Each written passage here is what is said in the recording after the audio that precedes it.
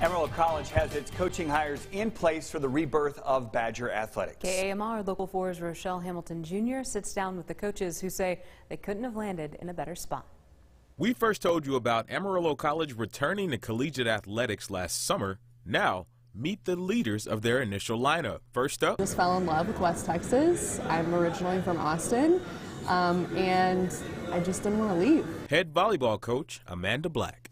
Success looks like a lot of different things, mainly graduation rates. So I want to see our kids move on, um, definitely graduate and move on. Black spent four years at Frank Phillips College in Borger. During her tenure there, her squads routinely placed high academically among all teams at the school. Wins and losses come and go, seasons come and go, but those things will remain for the rest of their life. Their season starts August 18th of this year. Next up, we want to be the best junior college in the country.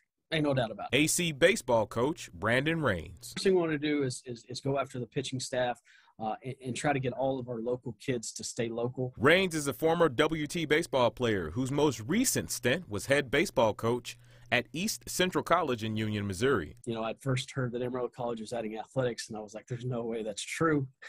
and then, uh, you know, sure enough, it was. And then we got to talking and visiting with some people about all the things that they were doing, and it was a no brainer. Their season starts February 2023. Stepping up. I've been talking to athletes, and they're excited. AC head cross country coach Sean Hargrove. Their parents are excited for them to get an opportunity to you know, next step in college. Hargrove is from Perryton. He attended WT and is currently coaching at Tascosa. I want to take these athletes from the Panhandle that don't get recruited and win a national championship. Their season kicks off the last week of August 2022.